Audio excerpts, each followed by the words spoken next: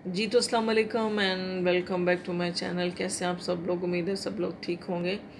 तो वीडियो शुरू करने से पहले कि आपसे रिक्वेस्ट है कि अगर आपको मेरी वीडियो अच्छी लगती है तो प्लीज़ लाइक शेयर और सब्सक्राइब ज़रूर ही कर दिया करें। आप लोगों की बहुत ज़्यादा सपोर्ट की ज़रूरत होती है। अच्छा जी, हम लोग मनीसो पे आए हुए थे और मैं ये कंटेनर देख रही थी, छोटे वाले बॉक्सेस ये अभी जो मैंने उठाया था ज्वेलरी बॉक्स था। छोटा सा इतना अच्छा लग रहा था, वैसे भी ट्रांसपेरेंट था तो इसके अंदर ज्वेलरी लगते तो बहुत ज़्यादा प्यारी लग रही थी। मैं सोच रही थी इसको मैं ले लूँ। हम लोग रखेंगे अपने, अभी जो हम लोगों ने ड्रेसिंग रखा है, उसके ऊपर मैं रखूँगी ज्वेलरी डाल के तो अच्छा लगेगा। बट उस ने मना कर दिया कि ऊपर ऐसी कोई भी चीज़ें नहीं रखो, इसलिए आप लोगों ने देखा होगा कि मैंने कोई ऐसा मेकअप का सामान कुछ भी ऊपर नहीं रखा कि कोई रूम में आ जाता है तो फिर कह रहे अच्छा नहीं लगता, इसलिए नहीं रखो।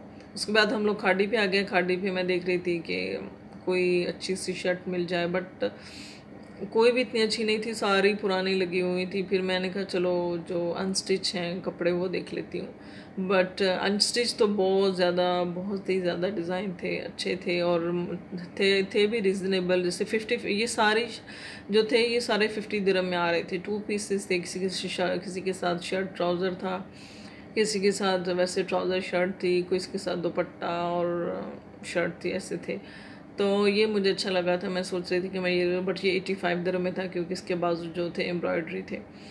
अच्छे थे कपड़े, मैंने एक सूट लिया था, मैं आप लोगों को दिखाऊँगी बट अनस्टिच लेने का कुछ फ़ायदा नहीं है। उतना, मेरे पास पहले भी एक शर्ट पड़ी हुई थी जब हम लोग गए थे शारजा में शारजा रोला में, तब मैंने वहाँ से गुल अहमद की ली थी तो मैंने कहा, चलो, ये दोनों सिलवा लेती हूँ। तो यकीन करें, कोई फ़ायदा नहीं अनस्टिच सूट लेने का तो इतनी ज़्यादा सिलाई पड़ जाती है यहाँ पे।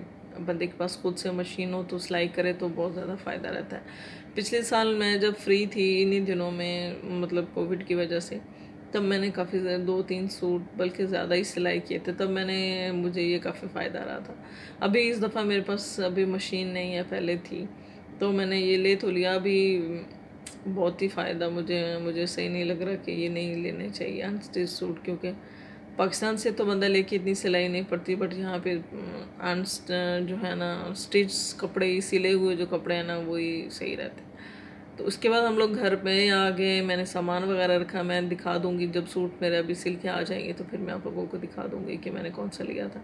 अभी श्रिंग वगैरह करके रखे और वीडियो बनाने का भी टाइम नहीं मिला सच्ची में। तो इतना काम होता है, इतना बिज़ी बंदा रहता है, सच्ची में मेरे से बिल्कुल भी वीडियो ना इतनी बन पाती है और मैं कहती हूँ जल्दी जल्दी मेरा काम ख़त्म हो, थोड़ा रेस्ट भी मिले। बट ना छुट्टी वाले दिन, क्योंकि बंदा, मैं मैं कौन सा घर में हर टाइम रहती हूँ, मेरे साथ में मैं अपना काम भी करती हूँ तो इसलिए मैं ना इतना वीडियो नहीं बना पाई। तो अभी मैं सामान वगैरह रखूँगी, फिर बाद में खाना वगैरह देखूँगी, क्या करना है। बस खाने का ये सामान हल्का फुल्का हम लोगों ने लिया था, साथ में रिजवान ने अपना जूता भी लिया था, जैसा पहले पहनते हैं, वैसे ही सेम थोड़ा सा डिज़ाइन का डिफरेंट उन्होंने लिया।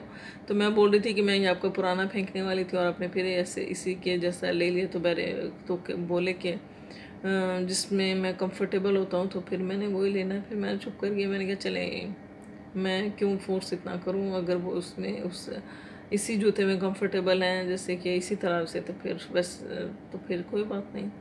तो मैं आप लोगों को दिखा दूँगी कि क्या कौन सा लिया जूता। मैंने वीडियो नहीं बनाई थी क्योंकि मैं बहुत लेट हो गई थी। मैंने कहा था मैं जल्दी जल्दी सामान रख के तो अपने खाने का देखूँ। बस यहीं तक थी मेरी आज की वीडियो। अगर आपको मेरी वीडियो अच्छी लगती है तो प्लीज़ लाइक शेयर और सब्सक्राइब ज़रूर करते हैं अल्लाह हाफिज़।